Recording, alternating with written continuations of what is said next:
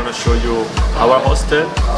It's really close to here, uh, where we will live the next five months with amazing people from all over the world, all together in our hostel for enjoying this amazing experience this summer.